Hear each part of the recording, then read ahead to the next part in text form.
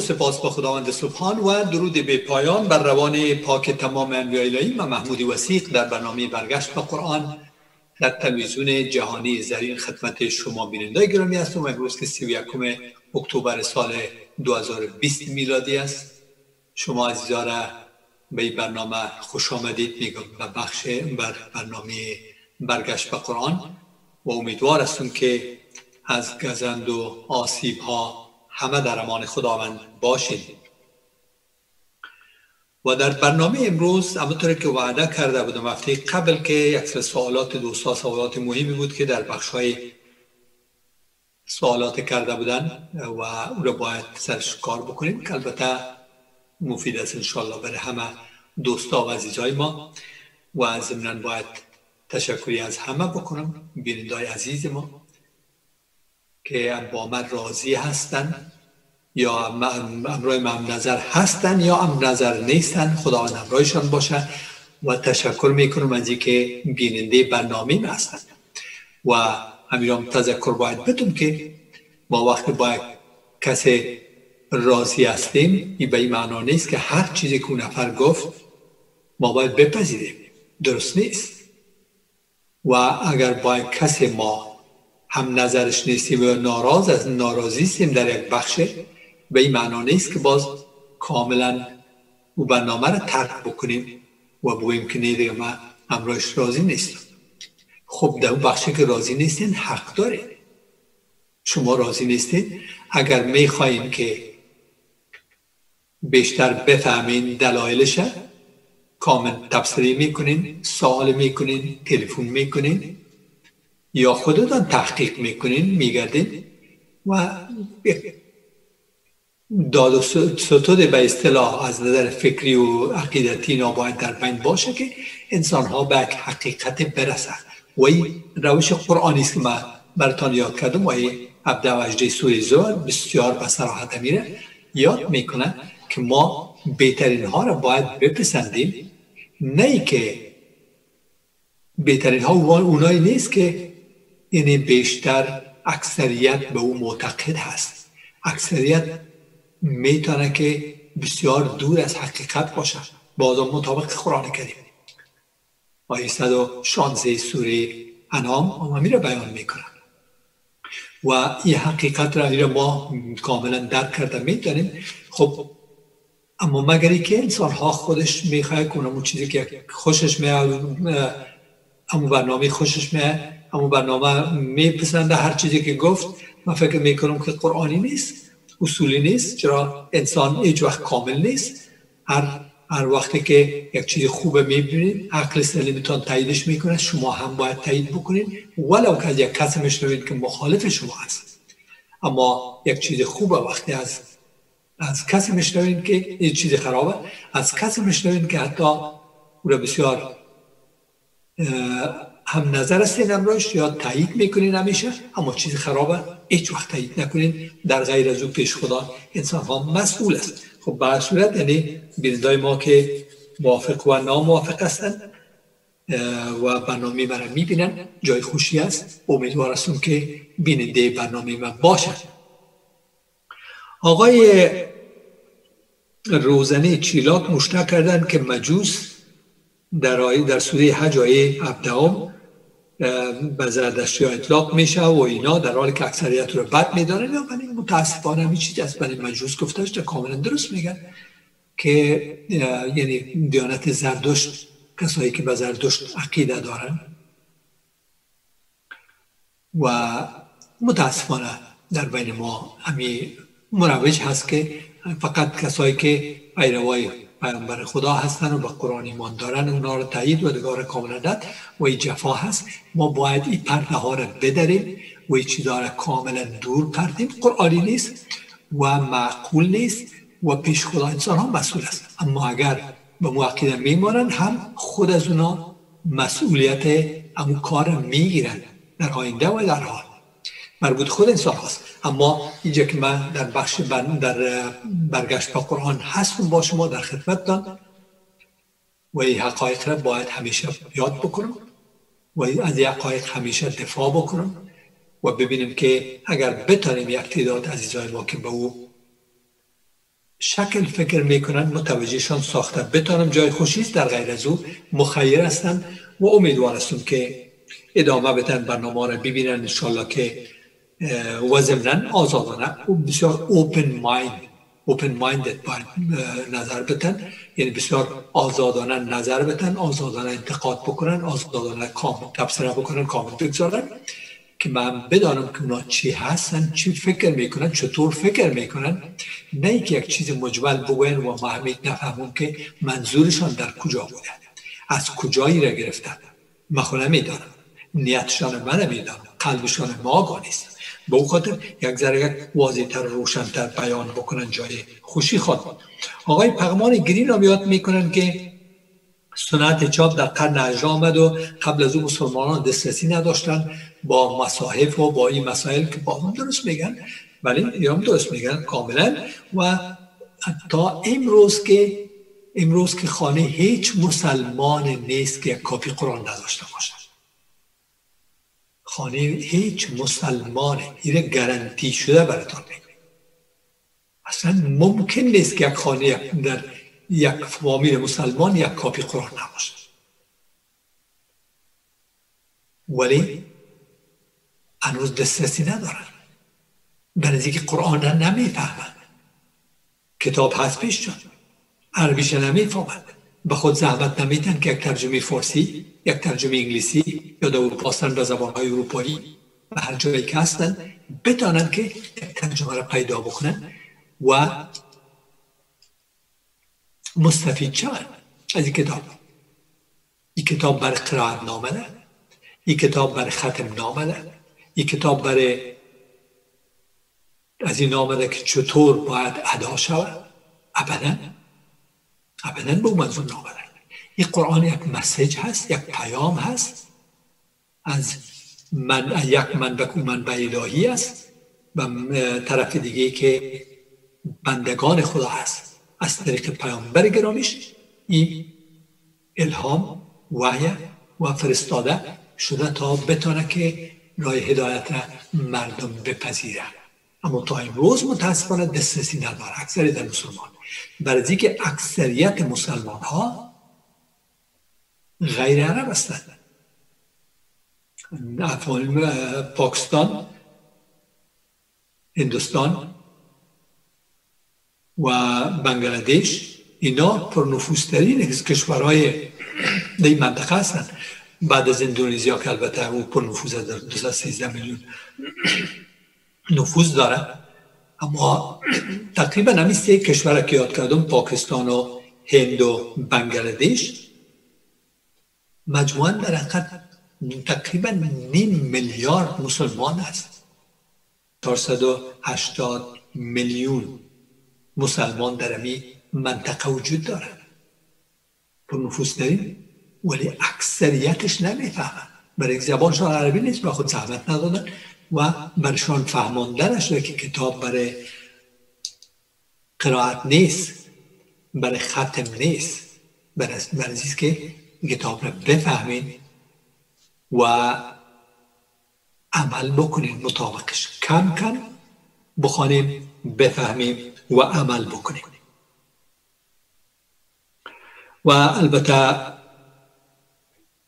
بیننده خوب دیگه ما خانم ویدایدر کم مطلب خوب را البته ایمیل کرده بودن و هفته قبل فراموش کرده بودم.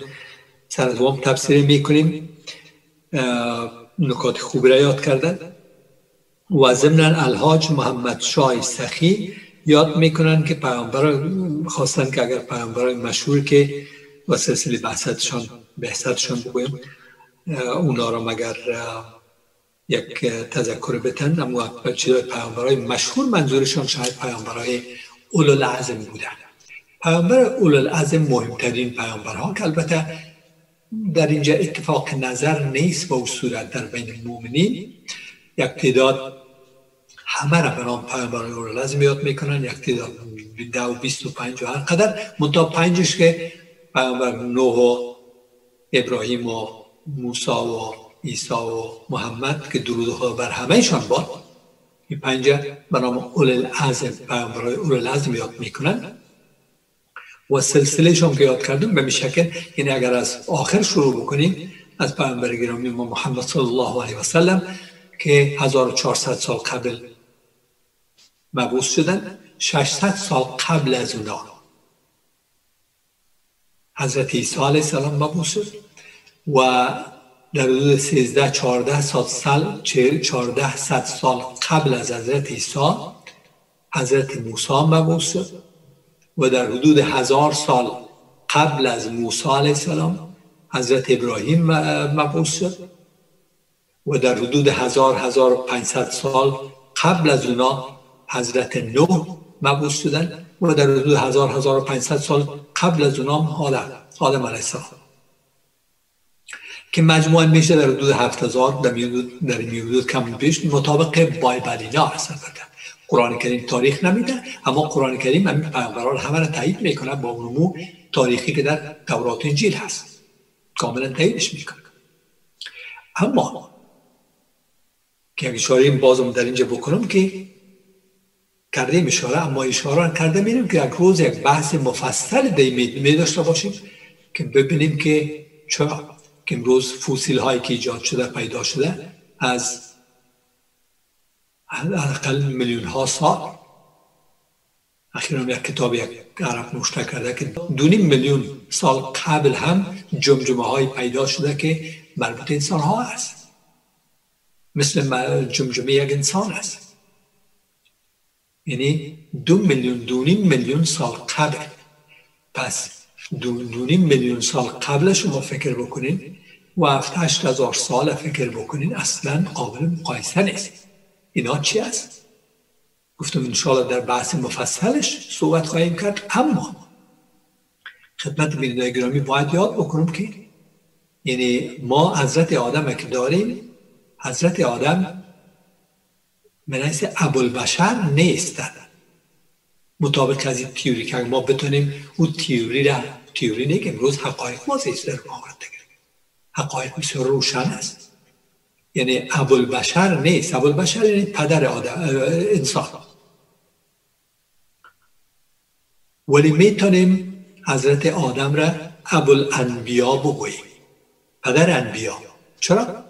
برای که انسان قبل از او انسان های وجود داشت. قبل از حضرت آدم انسان وجود داشت. ولی انسان تکامل نکرده بود از نظر فکری به او سطح نرسیده بود که انسان خوب و بد تفکیک بکنه. و اولین بار که به اون مرحله رسید از نظر فکری به اون مرحله رسید پیامبر پیامبرها برشان فرستاده شد که خود حضرت آدم هم از این جمله می‌تونه باشه و بعد به تعقیبش یعنی قبل از اون پیامبر وجود نداشت.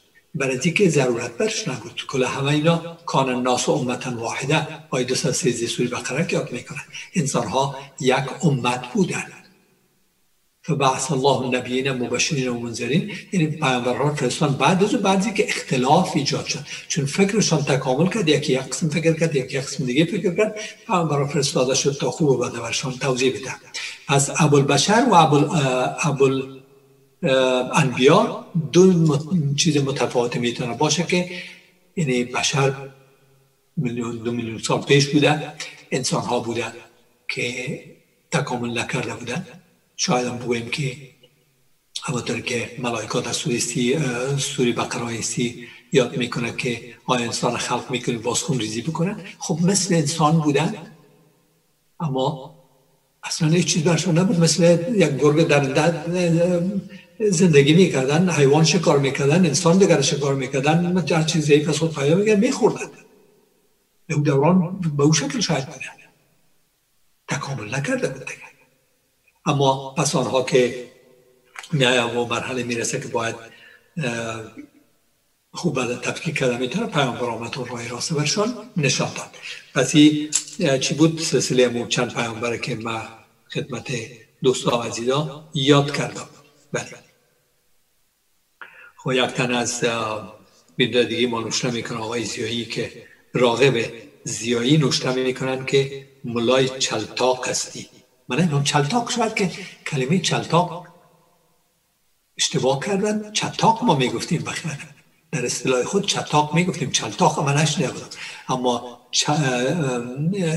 چتاق یعنی چالاک و فریبکار و از این مسائل با درام نوشته کرده که مولای امریکایی هستی. برای بیندای ماست. شاید نو شروع کردن به برنامه می‌بره. می‌بینن جای خوشی است که باز هم برنامه رو می‌بینن و انشالله که آیسته آیسته دقت کنن چشم و گوش باز بکنن برنامه رو ببینن و از کلمات از کلمات رکیک که من هیچ پروایش ندارم از کلمات رکیک برای دیگه کسا خودداری بکنین. برای من هم اگر خودداری می‌کنین خوب در غیر از او اگر میگین اشکال ندارم برای شماست. اما کوشش کنید که هیچ وقت کلمه خراب برای کسی نزنه قرآن کریم یاد می‌کنه که قل عبادی یقول التي هی احسن. بر بنده های من بگو که چیزی بگویم که بهترین باشد جای دیگه یاد می‌کنه قرآن کریم قولوا للناس حسنا. شما بر انسان ها سخن نیک بگویید. و پیامبر گرامی ما یاد می‌کنه که من کان یؤمن بالله و الیوم الاخر فلیقل خیرا او لیصمت. کسی که به خدا و به ایمان داره و به روز آخرت ایمان داره یا سخن نیک بگویه یا ساکت آرام باشه. در خود ببنده هیچ کامنت هم نگذارن تبصرام نکنن تلفن هم نکنن. وقتی کارا رو می‌تونن کرده که سر خود کنترل دارن و چیزی نمیگن مگر خوبی. نه که یک چیزی که بردن من میگم اصلا درست هم نیست بیار من توصیف بکنن نه چرا توصیف بکنیم اما دقت بکنیم توجه بکنیم سوال بکنیم. موافق نیستیم؟ بله. سوال می‌کنیم معدبانه از منی؟ از, از هر کس. معدبانه سوال شود معدبانه توضیح داده شود و تفسیره شود یا سوال خود طرح بکنن تا بتونیم که آیسته آیسته مخشون و یک جای برسیم که یک انسان بهتر و خوبتر و یک مسلمان بهتر خوبتر شده. چرا؟ ما به یقین هستم که هر کسی که یک هر موجوده که خود را یک انسان بهتر بسازد اونمو یک مسلمان بهتر است. یک انسان خوب وقت شد اونمو بدون شک یک مسلمان خوب است. اگر یک انسان خراب باشد هیچ وقت مسلمان خوب شده نمی‌تونه انسان خراب. مسلمان خراب نمیگه مسلمان دیگه نیست. نامش مسلمان است. مثل که مسلمان هایی که امروز متاسفانه خرابی می‌کنن. پس اینا شد صحبت از این دوستا و اینا. و آمدیم سر تفسیری را که یا سوال را که خانم ایدر چیز کردن بیننده خوبی ما. طرح کردن و در ایمیل خود نوشته کرده بودن که امی حق سه مرتبه سه, سه سه مرحله که برای مردا داده شده. در آیه 34 سوره نسا که هست که دو آگاه هستند. و امی سه حق که داده شده بر مردها داده شده بر زنها داده نشده. بر زنها داده نشده. البته قرآن کریم وقتی یاد می‌کنه قرآن کریم وقتی یاد می‌کنه که مرد یاد می‌کنه هر دو مرد و زن مطرح هست. مگر اینکه مشخصا برای مرد اطلاق شود. حالا فرزن قرآن کریم وقتی یاد می‌کنه که انما المؤمنون اخوه مؤمنون کلمه مذکر است. وقتی میگه مؤمنون برادر هم هستند پس خانمای مؤمن چی؟ خانمای مؤمن آیا هیچ کار هستن یعنی به این معنا که مؤمنین خواهر و برادر هم هستند.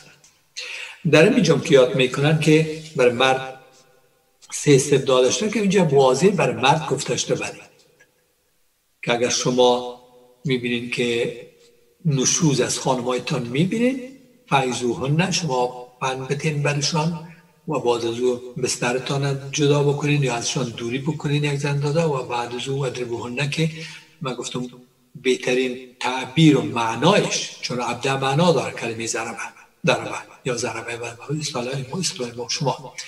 و متاسفانه خشنترین و زشترین معنایش امروز ملامون برای ما انتخاب کرده که مردم را به خانم را به حلاکت و فلاکت انداخته بخصوص در افغانستان عزیزمون.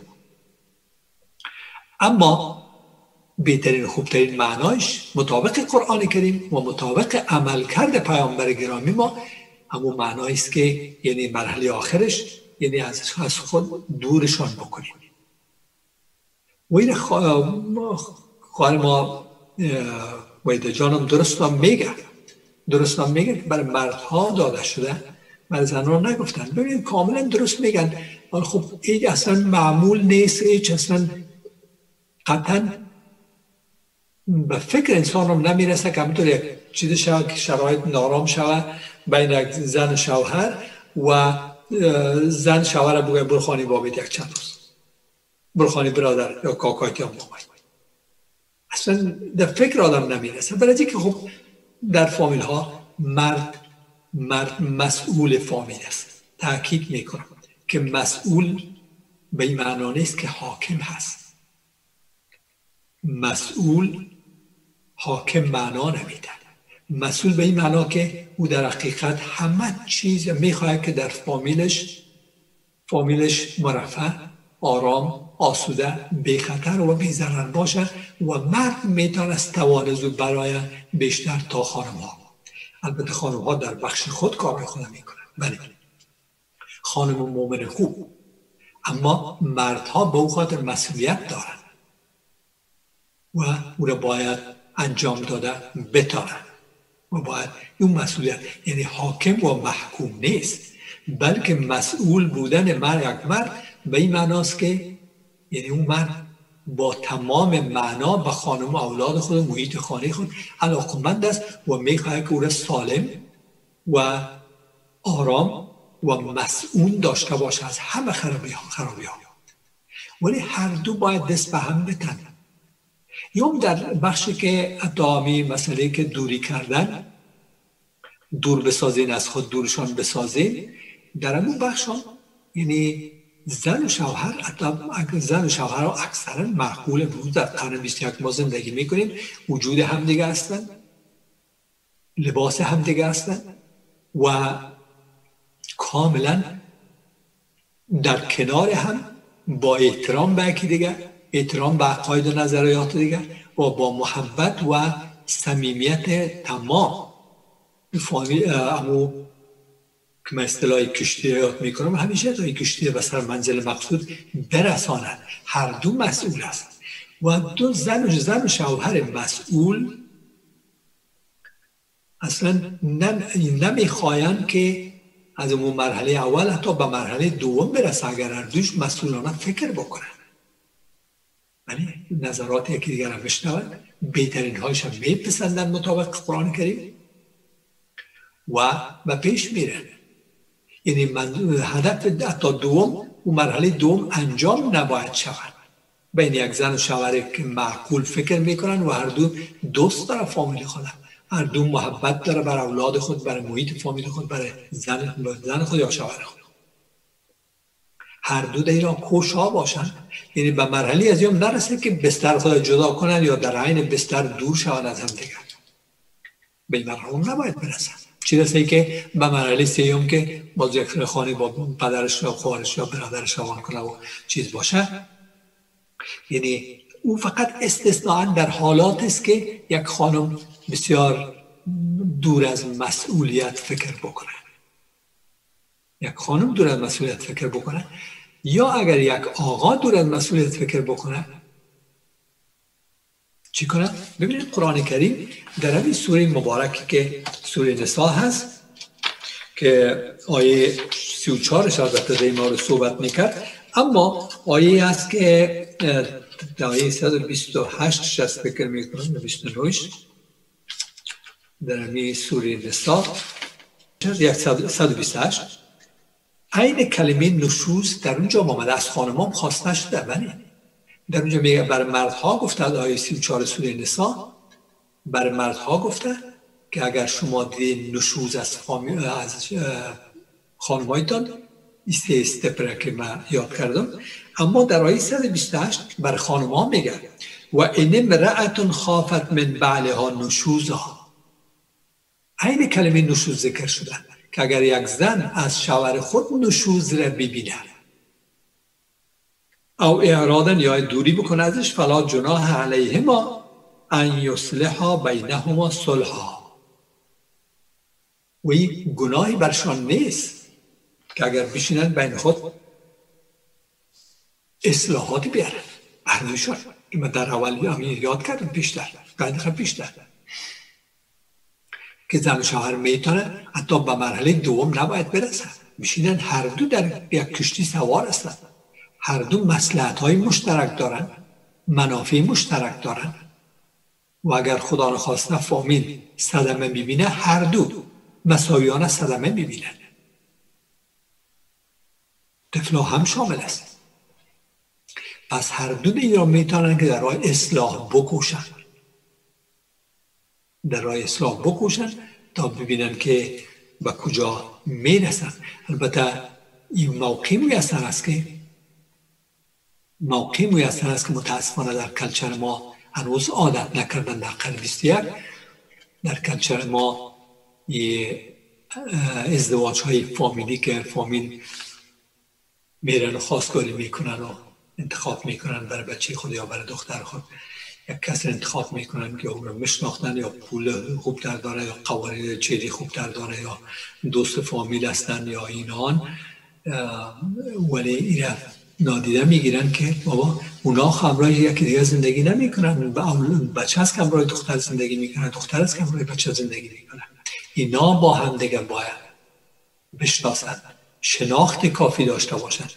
چهرهشان یکی دیگر خوب از نظر یعنی کاملا دیده باشن کاملا صحبت ساعت ها نه که ده ها ساعت ها شاید صد ها ساعت حداقل صحبت بکنن یا تلفنی یا فیسبوکی یا هر چیزی که هست که بتانن یکی دیگر بشناسن و هر دو اگر مؤمن به خدا هستن مخلصانه خود را به یکی دیگه خود معرفی بکنن. نه مغرزانه کسایی که اگر مغرزانه یا فریب کارانه کارهایی رو می‌کنه که خدا به یک شکل معرفی می‌کنه. ببینید در در حقیقت اولین سنگ تهداب یک فامیل کج بنام مگذارن و روی زور کج بنام شد فامیل کج است. فامیل کج بنا شدن. در که از اول فریب کاری کردن یا مرد یا زن. هر دوش باید در اینجا کار بکنن و هر دو باید مخلصان قلب خود باز بکنن برای یکی دیگر. و یکی دیگر را درک بکنن و نظرات و عقاید و پلان و پروگرام آینده خود همه را باید ببینن که آیا یک جفت مطلوبی هستن. بله یک جفت مطلوب اگر می باشن اون وقت است که موفق گارانتی هیچ چیز نمی تضمین نداره. هیچ کس تضمین کردن نمی‌تونه. ولی به اکثرا موفقتر کسایی هستند که دیگر درستتر شناختن مسئولانه شناختن. نه که به خاطر خوشگذرانی یکی دیگر با هم بشینن و صحبت بکنن و لذت ببرن بلکه به خاطر یک آینده بهتر ایجاد کردن یک فامیل بهتره. اینا در صدد باشن. واضح است که اونا چیز موفقتر دارن. و ویده جان بازم یاد می‌کنن که در حالی که خیانت در زندگی که یاد کردن که بر مرد یک داداشته نه بر زن که من توضیح دادم و میدست که توضیح داداشته باشه. در حالی که خیانت در زندگی زن و شوهر از طرف مرد زیادتر است باید دچار درست میگن خیانت در روی زیادتر است. باید همین محبت همین صمیمیت همین اخلاص باید حفظ و بانه و هر دو در کنار هم مثل لباس با هم دیگر باید به پیش برن. ولی اگر احیانا همی چیزهای اتفاق میفته متاسف متاسفانه فامیل به سردی میکشانن و چیزی که درست میگن بیشتر از مردها شاید از طرف مردها بیشتر همی, همی چیزها عنوان میشه. و درست است. و امید است که همه رای خود بهتر بسازن و درستتر فکر بکنن. تا فامیل خوبتر اینا ترتیب بکنن یا عرضه بکنن. و ضمنا دوست عزیز ما که قبل قبلیات کرده بودن راجع به فتح خیبر گفتن که اگر یک اندازه صحبت شود بینید عزیز ما. و فتح خیبر البته یاد بکنم که خب فتح گشودن معنا میده. خیبر هم یک منطقه بود در شمال تقریبا شمال غرب مدینه تقریبا 150 150 مایل باشین 150 کیلومتر 90 تا 900 مایل میشه. در می حدود یک منطقه بسیار حاصل خیز و اونجا یک طایفه از یهودی ها زندگی می‌کرد. البته یهودی ها بسیار از چند صد سال پیش قبل از اینکه پیامبر خدا که جنگ رومن ها با یهودی ها و اینا از دو دوران کاوارشون آمدن سرازیشون یک تعدادشون به سوی منطقه اجاز و بیشتر در منطقه چیز سکنا گزیدن در مدینه چون مدینه آبا بهتره داشتن. نظر به مکه و امکانات زراعتی اینا موجود بوده. و اینا مردم های بسیار پرکاری هستند زحمتکش هستند یهودی ها تا امروز می‌بینیم. و به خاطر هم هست که یک تعداد زیاد انسان ها که نفرت دارن از اونا به خاطر نیست که رقابت کردن نمی‌تونن. واقعیت ها رو باید بیان بکنیم. مسلمان ممکن نفرت داره برای اینکه رقابت کردن نمی‌تونن امروز همین یهودی ها از امروز دوران تا امروز هم اقتصاد بالا دارن هم سیاست بالاتر داره تا امروز. مسلمان هم روش رقابت کردن نمی‌تونه تکفیرش کردن. گفتن کافر است یا خلاص. و این چیزیست که خودشان رو در کفر من داده اگر میره اگر رای خود اصلاح نکنن بخصوص ملا و واعظ مبلغین باید رای خود اصلاح کنن تا امت اصلاح شود. برای سه طایفه یهودی در این منطقه مدینه که البته مدینه منوره بعد که پیامبر خدا هجرت کردن نامشون هم پیش از او یسرب می‌گفتن در این منطقه یسرب اونا سکنا گزیدن. و به زراعت اشتغال پیدا کردن و زراعت بسیار خوب نخلستان ها و اینا و تمام چیزها را بر سرسندی و شادابیش بسیار کوشیدن و مرفع زندگی می‌کردن کاملا. سه طایفه بود که بنی نظیر و بنی قریزه و بنی قینقا. این سه طایفه یهودی بودن. در اونجا زندگی می‌کردن که با یک سلسله حادثات رخ میده بین مسلمین اونا. بین اونا و مسلمین و مسلمین اونا؟ هر دوش. حادثات رخ میده که پیامبر خدا تصمیم می‌گیره که اونا را اخراج بکنه از اون منطقه. که البته در بخش خودش چون اگر صحبت کنیم صحبت ها زیاد است و وقت ما قدر وقت کافی که ما باید داشته باشیم. نداریم برش اما همه قدر خدمت دوستا یاد بکنم. که سی تایفه چون صحبت ما فتح خیبر است و در خیبر یکی از اینا که بنی نظیر هست سکنا گزیدن. و بنی نظیر هم در امی منطقه یسرب وجود داشت در اونجا بودن هر سه تایفیش اما نسبت یک مشکلی که پیدا شد که دو نفر کشته میشه اگر تاریخ راست باشه. در تاریخ بسیار چیزای دروغ هست بله بسیار چیزای غلطی هست بسیار چیزای مبالغه هست با تعصب صورت گرفت در تاریخ هست. تاریخ مسلمین بسیار زیاد. از این بدبختی ها زیاد داره و مخاطر بسیار مشکل است که آدم بتانه حقایق از لابلایش پیدا بکنه. مگر اینکه انسان قرآنی فکر بکنه کاملا و هر اون چیزی که رنگ قرآن کریم را می‌گیرن قطش بکنن دور, بندازنش. بس تمام. دیگر راهی ندارن. اما یا به این معنا نیست که همه چیزا مسلمه برای که قرآن کریم اصل چیزایی را که فرزن مهفی قبل یاد کردم در مورد ام المؤمنین عایشه و ام المؤمنین حفصه و ام المؤمنین مانی قبطیه. خب نامشان دیجا نامدن اما اونمون تاریخ آدم ببینن که چقدر می‌تونن که بر رنگ رنگ قرآن مطابقت داشته باشن و اونم خالق می‌فهمه که چقدر صحت داشته و چقدر مبالغش در مورد یعنی اگر تاریخ درست باشه در این مورد هم در این مورد بنی نظیر اونطور یاد می‌کنن که یک دو نفر کشته میشه سهوان از طرف یهودی ها کشته میشه. و اینا باید که هم خونبهایش بپردازن. خونبهایش باید بپردازن. یک ملاقات بعدی ملاقات می‌گیرن که در یک جای باید ببینن پیامبر خدا را یاران نزدیک خود رفتن. اینجا در یک دیو کنار یک دیوار نشستن.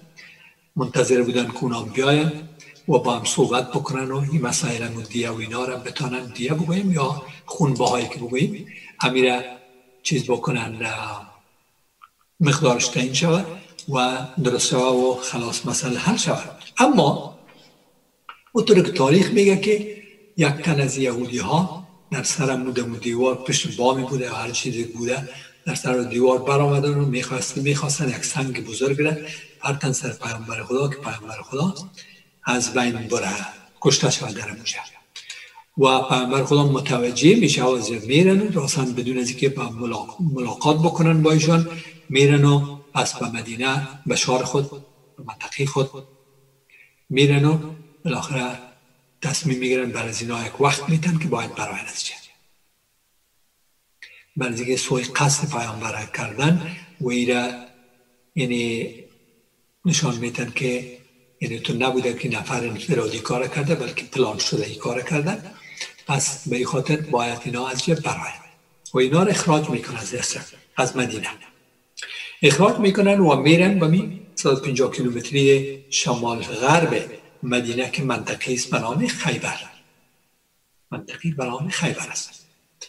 در اونجا میرن و سکنا میگذینن و اینا میرن در اونجا اون آباد می‌کنن. بازم با مزرعت خود اشتغال پیدا می‌کنن. بسیار رونق پیدا می‌کنه و خوب و اینا اما وقتی که صلح حدیبیه میشه سال ششم است سال ششم است فکر می‌کنم صلح حدیبیه و تعقیبش پیامبر خدا به سوی خیبر توجه می‌کنه که باید خیبر فتح بکنن چرا؟ چی دلیل بوده؟ دلیل در کجا بوده؟ دلیلی بوده که خب رهبرشان که حویه ابن اختب حویه ابن اختب رهبرشان هست رهبر می قبیله بنی نظیر در امی منطقه خیبر اونا آرام نمیشینن نمیشینن کوشش می‌کنن که با توایف دیگه یهود مثل بنی قریزه و بنی قینقا هم ارتباطات قایم داشته باشن که البته بنی قینقا قبل از یا برآمدن یک مطلب یک حادثه دیگه رخ میده اونا را اخراج می‌کنن از مدینه وام برآمدن اما بنی, بنی قریزه ما باقی است در مدینه.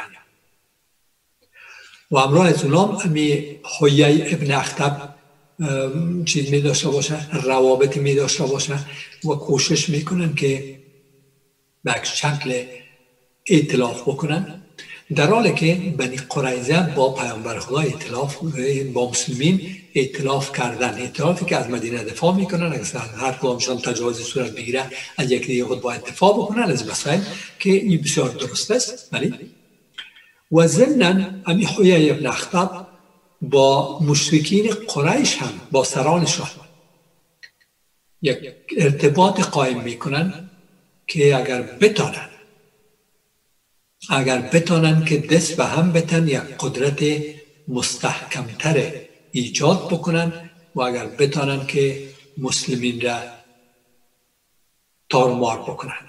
برای که یعنی یک خطری هست برای خودشون که اینا نیت از اونا چطور بوده و پلانشون چطور به کار خالت, خالت می‌دانم کارش. خب ولی امی کار تاریخ نشان میده که امی اطلاف را با مشرکین کردن در حقیقت. امی حویه ابن اختر. البته جنگ خندق هم جنگ خندق هم یا جنگ احزاب یا جنگ خندق. در امی جنگ خندق هم که اتفاق افتاده بود به می خاطر پیامبر خدا وقتی می‌بینه که یعنی قریزه نباید شرکت می‌کرد با مشرکین و هم شرکت کردن پیمان خود با پیامبر در قد شکستن مخفیانه و می‌خواستن که مسلمین از بین بره به خاطر بنی قریزه حادثه حادثه خونین است اگر چقدر درست است واقعیت های آدم بگه نمیدانه خالق می‌فهمم کارش ولی خونین بوده. رهبر خود بنی قریزه هم تحریک می‌کنه تشویق می‌کنه که فسخ بکنه اعتراف خدا با مسلمین و با مشرکین دست به هم بدن که مسلمین را بیخ و ریشهشان بکنن. پس یا مخالف از نظر سیاسی و از نظر دینی هزار دو نقطه نظر واقعا اشتباهی بزرگی بوده که مرتکب شدن پیامبر خدا وقتی گفتم به سوی خیبر توجه می‌کنن میرن به سوی خیبر و منطقه خیبر دیگه منطقه قلعه مستحکمی دارن سنگرهایشان از قلعه مستحکم ساختن به خاطر دفاع از خود. و مواد خوراکه و نوشیدنی و خوراکه و اینا هم بعد کافی که حتی بعض روایت میگه تا یک سال هم دارن اگر محاصره شوند از این مسائل. پیامبر اونجا توجه می‌کنه و میره که باید فتح خیبر صورت بگیره و در اینجا حضرت علی حضرت علی علیه السلام رولشان بسیار عمده است که اگر در مبالغات بازم شده در این موارد ولی ولی خب ما هستیم تاریخ ما از پر مبالغه هست. حضرت علی میره و همین فتح خیبر صورت می‌گیره و حتی بعض جای مبالغه کردن که سپر سپر یازری حضرت علی ازش مفته. وقتی که مفته شما فکر کنید که دست به دروازه قلا یک دروازه عالی نیست. دروازه قلا می‌گیره او را از جایش می‌کنه سپر در مقابل خود قرار میده. این ایده مبالغه است که بسیار زیاد مبالغه است ولی خب انسان محترم است. کسایی که بر به او اعتقاد هستند انسان معقول فکر بشود کاملا همه چیز درست میشه. اگر معقول فکر بکنیم درست میشه همه چیز. یعنی یک انسان کاملا موجزه خونه داره پیامبر این موجزه را نداشت چطور حضرت علی موجزه را داشت که دروازه قلای مستحکم سنگر بکنه از جایش و سپر در مقابل خود قرار بده. اصلا ممکن نیست. ما به یقین اعتقاد نیست اما کسایی که هستن محترم هستن. مربوط از اونا میشه و این بود مسئله فتح خیبر که اتفاق مفته و در حقیقت همین توایف یهود تار و مار میشن دیگه. هم بنی نظیر هم بنی قریزه هم بنی قینقا یا اگر میمانن یک تعدادشان به او شکل میمانن که یا اسیر هستن یا یا مناسه جزیه باید بتن در منطقه و از او چیز بکنن زندگی خود سپری بکنن یک مطلب دیگه هم که از آقای رحمت الله حمیدی هست که در مورد قصه لود از قصه لوط علیه السلام یاد کرده بودن که در اونام برشان باید یک تفسیری بکنیم. فقط یک چند دقیقه به اعلان میریم و دوباره در خدمتتان هستیم. لحظات بعد. بیننده گرامی با ما باشید. اینجا تفسیرهایی که دوستا کردن تشکر می‌کنم از همه بیننده. از بیننده عزیز ما هر کجایی که هستن و از هر کجایی که کامنت بگذارن آقای یورش تایید یورش که در کانادا هستن البته. چرا تشکر از لطف همیشگیشان و پغمان گرین پغمان گرین چند تفسیری کرده که دوستان می‌تونن بخونن اما یک چیزش که بر من جالب بود وی که مشترک کردن که من چون دیر شد معلوم میشه که دیر افغانستان نرفتیم. در افغانستان مسلمان بسیار کم است. البته ایره یعنی درست میگن مسلمان به این معنا که تسلیم خدا تسلیم خدا بودن. اگر به عقیده ما البته که بسیار کم است و او قلاده کم است. تسلیم انسان بیشتر است تا تسلیم خدا. من البته یک تفسیرم در امیجا خدمت دوستا یاد بکنم. و که شما فکر کنید در این حادثاتی که در فرانسه رخ میده انسان های بیگناه کشته میشن. انسان های بیگناه کشته میشن به نام که توهین به پیامبر ما شده. و در اونجا که البته یه بخش خود داره که قرآنی نیست که انسان خودش دست به کار شود و قرآن مسلمان قبول نداره دیگه آقای گرین بسیار درست یاد می‌کنن که واقعا همینطور است. مسلمان قرآن قبول نداره. حکم قرآن قبول نداره. میبوسش ولی حکمش قبول نداره. قرآن بسیار با وضاحت آیه 140 سوره نسا آیات می‌کنه که اگر شما دیدید که کسی کاریکاتور می‌کشه و بیایی قصدا بر تانا میرم کلمه کاریکاتور گفتم که قرآن کریم یاد می‌کنه که می‌بینید شما آیات خدا کفر ورزیده میشه یا استهزا میشه خب این کاریکاتور کشیدن است و هر چیزی دیگه هم شامل میشه. فلا تقعدوا معهم حتی خود فی حدیث غیر شما هم روشون نشین تا که موضوع را ریواز نکنن با دو انسان هستین کلتان بشینین با هم دیگر صحبت می‌کنید اما مسلمان هیچی را قبول ندارن. فقط باید بکشن و بو هم کره بکشن انسان های بیگناه دیگه انسان های بیگناه دیگه بکشن. در اونجا کشته میشه و در افغانستان تظاهرات میشه و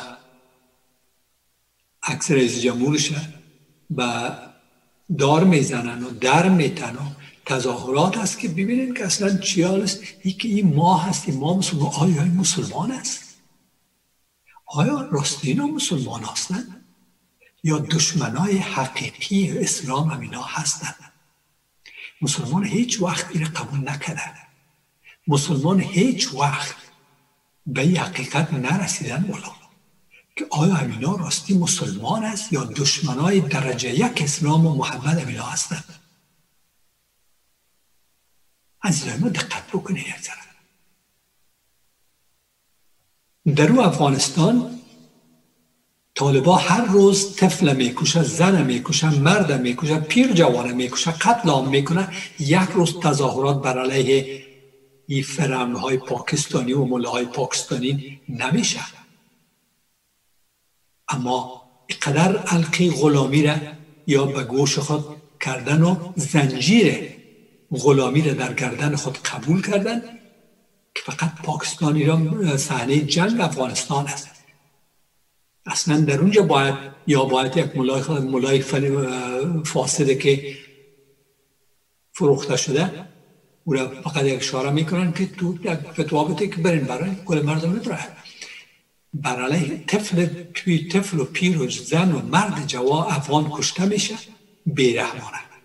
توسط طالب جنایتکار یک روز مزاینه نمیشه. ولی پاکستان نمی‌خواد چون با پاکستان نیست. ولی ای که بر علیه بر علیه آزادی عقیده باید بجنگن آزادی بیان.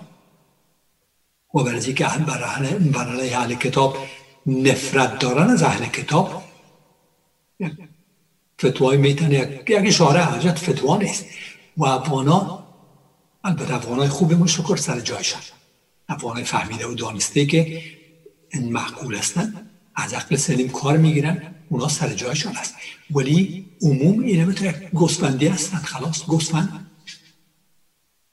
گوسفند تیار. میرم تظاهرات می‌کنن که حالا کاریکاتور کشیدن در فرانسه و اونجا قتل میشه پیش روشان پیش روی چشمشان طفل و پیر و زن و مرد کل جای خون میگره پارچه های وجودشان هر جای پراگنده میشه یک روز مظاهره یا نکرده آیا مسلمان هستن یا یا دشمن های اسلام دشمن های درجه یک اسلام ملایشان وایز مبلغشان همونایی که اینا را تایید می‌کنن و همونایی که اینا را فتوایشان میده و همونایی که اینا را تعلیم میده. دشمن های درجه یک اسلام اینا هستن.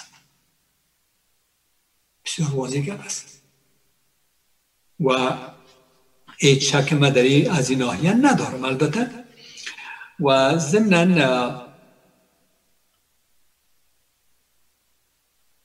آقای روزنی چیلاک هم کامنت های ماندن محترم هستن سوالات می‌خوای خودشان توضیحات دارن دوستان می‌تونن بخوانن.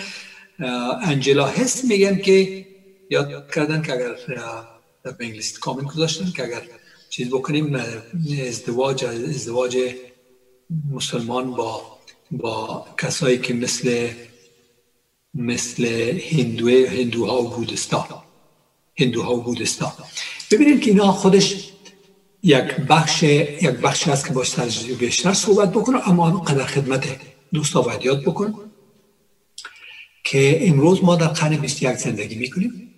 در قرن 21 و او جوانهایی که در کشورهای غربی برآمدن و اونا در یک کشور آزاد زندگی می‌کنن. و من نیم ساعت قبل سرمیام صحبت کردم که باید چقدر دیگه خدا بشناسن. چقدر بشناسن یکی دیگه خدا و وقتی می‌شناسن که افکار یکی دیگر را درک بکنن عقاید یکی دیگر را درک بکنن خواستهای یکی دیگر را درک بکنن پلانهای یکی دیگر را بفهمند و صدها ساعت باید صحبت کنن که من یاد کردم. و گفتم هم که مخلصانه باید اینا باشن. به پرده بین خود یکی دیگر را بشناسن در غیر از او. گفتم سنگ اولین سنگ تهداب و فامیل کج بنا مگذارن و بنا می‌کنن روش. اگر می‌خواین که یک جامعه یک فامیل خوبتر ایجاد شود. خب وقتی جوان به اون مرحله می‌رسد خب خود جوان آزادی عقیده و آزادی انتخاب در صدر اسلام است. او جوان وقتی درک کرده با تمام معنا درک کرده یکی دیگر شناختن و میگن که برای این یک جفت خوب برای ما است. خب عقیدهش دیگه چی معنا داره او را درک کرد که یک انسان خوب است. درکش کرد که یک پلان خوب داره. می‌خواد یک انسان یک پدر خوب بر اولادم باشه. یک فامیل خوب یک شوهر خوب برای خودم باشه. یک ستزن خوب برای مردم بر مردم خود است. پرکار است زحمتکش است صادق است محبت داره صمیمیت داره همه چیز داره خب اونم عقیده عقیده که بعد اوج تولد شده در یک جای تولد شده در یک فامیل تولد شده برش یک تشریفات دیگه را دادن مربوط خودش است. و همی آزادی اون جوان است که باید انتخاب بکنه. دختر است که سی سال عمرش است. سی و پنج سال عمرش است بیست پنج سال عمرش است. و انتخاب می‌کنه یا پسر یا دختر. انتخاب می‌کنن با اون ارزش هایی که اینا شناختن یکی دیگره. اون بسیار مهم است. که آیا با هم توافق دارن یا ندارن؟ و برتان قصه از هندوها رو کردیم که که در برنامه خود آورم چهار سال یک افغان عزیز بود هندوی هندو. و او یاد می‌کنه که من ما به یک خدای واحد ایمان داریم. خب به یک خدای واحد که ایمان دارن پس چی دیگه؟ تشریفات فرق می‌کنه شریعت ها فرق می‌کنن. بله تشریفات بسیار تفاوت داره از هندوها و بودایی ها و مسلمان ها اما اگر به خدای واحد ایمان دارن اگر این دو جوان یکی دیگه خود شناختن و می‌فهمن کم سر خوب و وفادار هستن به دیگه خوش خوشبخت می‌تونن شده. خب اشکال نداره آیا فکر بکنیم که او جوان خوب است که با او اگر بچه هست یا دختر است با او یک نفر ازدواج بکنه؟ یا با یک کسی که یک طالبی که او کلمه می‌خوانه و قلقله می‌کنه یک طالب طالب یا طالبه؟ با او ازدواج بکنه که دنیا و آخرتش برباد بکنه؟ او چون کلمه می‌خوانه با همه چیز درست است و با او غلط است. نه ما او رقم نمیبینیمش البته انجلا هست. بیننده بسیار محترمی ماستن که نام خواستن که این معلومات برای همه باید برسن این معلومات رو مردم بگیرن. که واقعا ما دنبال ارزش ها بگردیم دنبال زواهر نگردیم یک نفر کلمه می‌خوانن.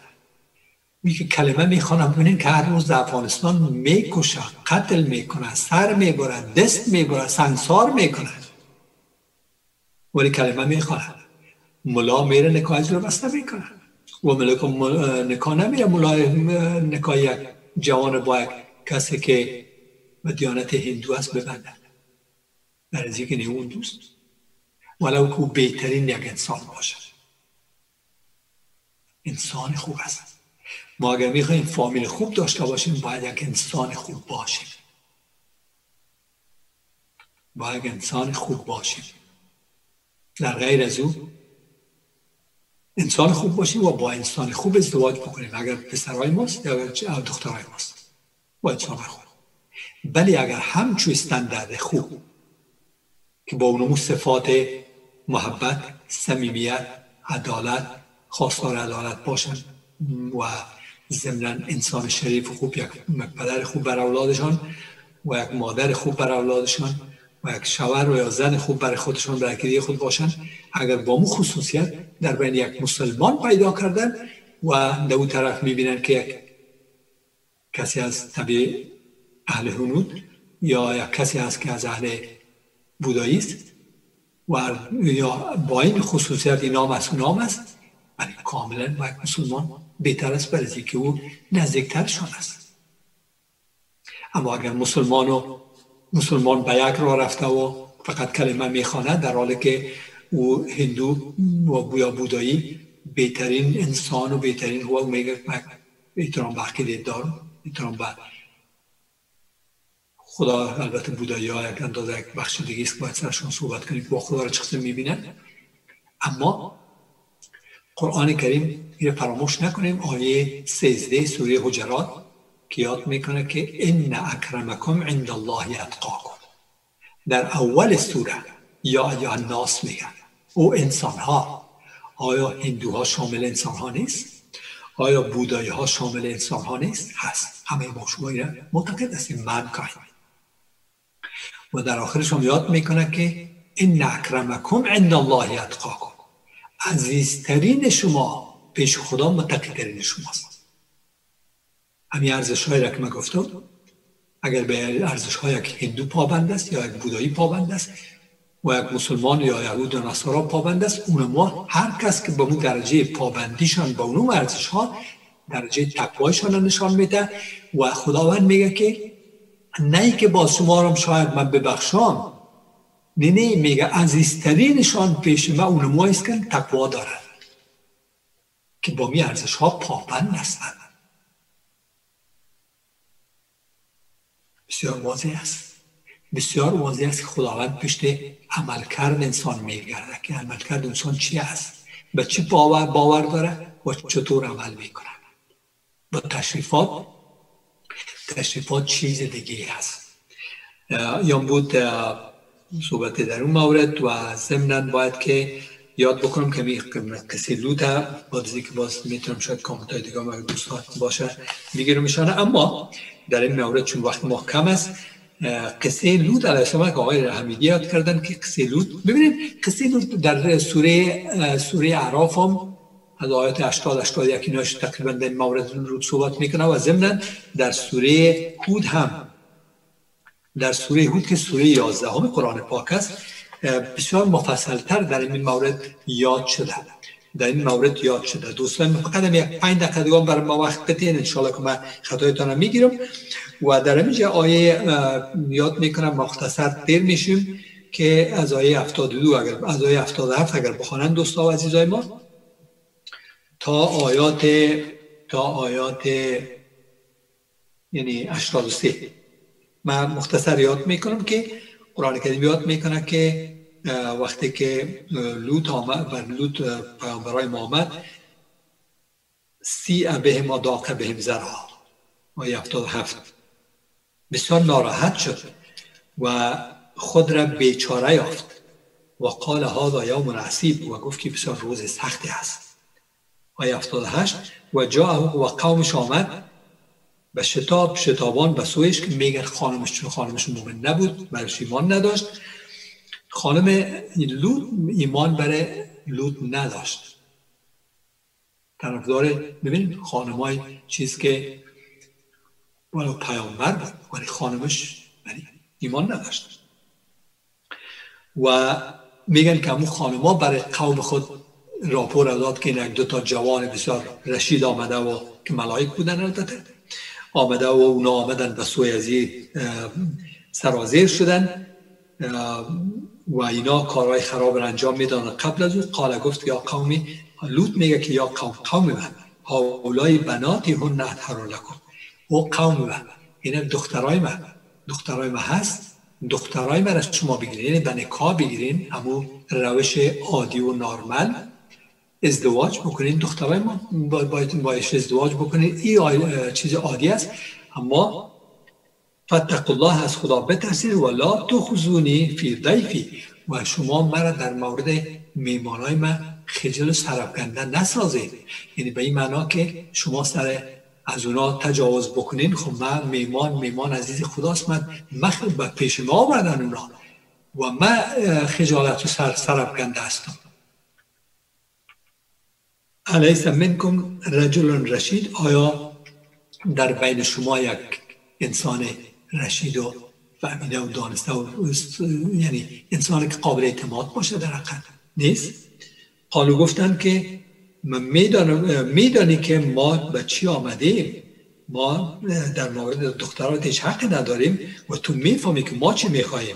حالا گفت باز حضرت لود میگه لو ان لی بکم قوتا اگر در برای شما یک قوت من می داشتم یک زور می داشتم یک توانایی نیروی می داشتم او آبی رکن شدید ای کاش کسی تکه می کردم ببینید میشه که امو ضعف انسانی انسان است دیگر خدا کمکش نکرد. البته خدا کمکش کرد اولا رجی تا این مرحله را نمی‌فهمه که اونا ملک هستند فکر می‌کنن که دو جوان میمان آمده رخ خانیشان دقل باب کرده و وایی باید دفاع کنه چطور دفاع کنه از اونا؟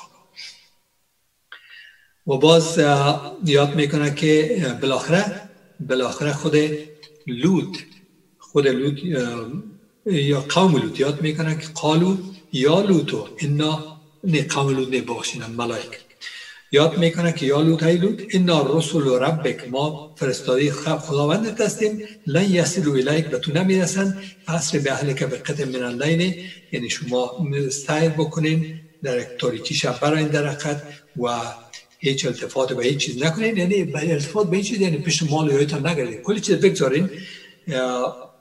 الا امراتک مگر که زن. برای زنش خب امرایشان نام ترقت و او از جمله حالکین بود و موافق برشان رسید و هلاک شدن به این معنا ویده جان ایدر نوشتن می‌کنه که ممنون از توضیح مفصلتان خیلی جامعی بود. چرا تشکر از شما و انشاءالله که در امان خدا باشین و عبدالعلی ما یاد می‌کنه که آفرین بر تو راستی میگی. افسوس که مردم ما چی نمی‌کنن خب تشکر از دوستها و عزیزا از آقای عبدالعلیم. ممنونشان. و گوش شنوان ندارن افسوس افسوس. ولی واقعا همین همین همین جنجال است که ما داریم و امیدوار هستیم که ما گوش های خود در مقابل حقیقت باز بکنیم.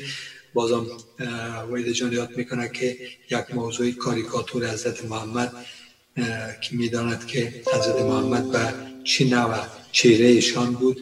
این رسم یک رسم خیالی یک انسان است. پس چرا؟ بله کاملا بسیار درست میگن بسیار درست میگن اصلا ما از پیامبر خدا هیچ هیچ تصویری نداریم. یا از پیامبرای خدا ما هیچ تصویری نداریم. یا با او شکل که کاریکاتور ساختن او لنگی که داشتن پیامبر لنگی نمی او طرز لباسش به اون شکل نبود چهرهش به اون شکل نبود. کاملا ویده جان تشکر از که امیر تذکر داده ولی ولی انسان ها ساختن یک چیزی ساختن و از طرف دیگه عزیزان من برادر خواهر من باید این فکر بکنیم ما متاسفانه بسیار وقت احساسات سر انسان غلبه می‌کنن. عقل انسان ها محصور میشه. دیگه عقل کار نمی‌کنه. عقل دست نمیشه احساسات دست میشه و اونمونطور که در فرانسه یا در هر کجای دیگر. همین اتفاق مفته شما فکر کنید او انسان هایی که بیگناه کشته شد او معلم بیگناه کشته شد. او سه انسان دیگه که سه روز پیشتر کشته میشه بیگناه کشته شدن اینا. این بیگناه ها اینا از ما شهید است از اونا شهید نیست. اونا خود کافر میمونن. فکر کنیم به یک عقیده است مسلمان. قدر گمراهی مسلمان هیچ حد و حدود نداره والله. اونایی که هر انسانی که بیگناه کشته میشه اون شهید است. پیش خدا محترم است. قاتل اینا است که می‌کشن. قاتل اینا هست که می‌کشن. ما احساسات را کنار بگذاریم و از طرف دیگه فکر کنیم بیننده خوبه ما. که معقول بسیار ما شغل بینندای خوبه که عاقلانه فکر می‌کنن از عقل سلیم خود کار می‌گیرن.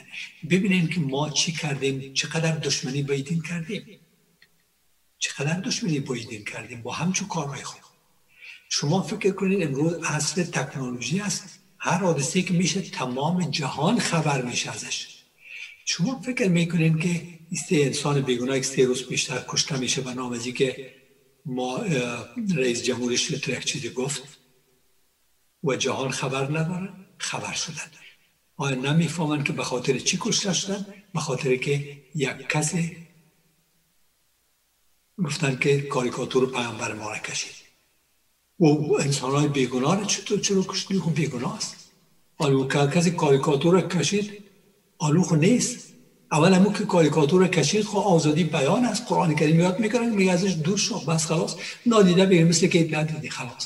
تو مسئول نیستی. اگر خدا بخواه خودش کنترل می‌کنه.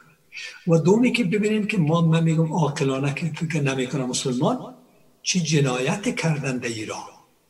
ببینید تمام جهان نفرت را که بر علیه اسلام در تمام جهان یا پخش می‌کنن فکر می‌کنین که امروز رئیس جمهور اعلان کرد که بعدا خب در کلمه ایتان مسلمان ها و اینا را. خوب یعنی به این معنا که یعنی شما فکر می‌کنید پشت پرده اینا می‌فهمن که چقدر وحشی طبقه است یا؟ تمام جهان می‌بینه که چقدر وحشی هست این مردم. و دین یا پیروای همین دین هستن میگن. پس دین وحشت رو بر مردم تبلیغ می‌کنن. ببینید ما جنایت می‌کنیم بر علیه دین کسایی که عاقلانه فکر نمی‌کنن از احساسات. این دشمنی است با دین ندوستی و اینا دشمنای دین هستن اگر راه خود اصلاح نکنن. دوست دین بودن نمی‌تونن و دین کاملا مبرا است از همچی چیزا. و میگه که آیه 140 140 سوره نسا که بخوانین کاملا کاملا واضح و آشکار هست. وقتی ما تمام شد اگر این صحبت ها زیاد است و انشالله که در آینده در آینده سر زیاد صحبت ها زیاد می‌کنیم. خداوندی ها رو مددگارتان باشه دوستان تشکر می‌کنم. از اینکه زنگ می‌زنن. و ما نوختر زنگ زدن. انشالله که من در خدمتشون در هفته آینده خواهد بودم. در امان خدا باشین. ساعت و سلامت.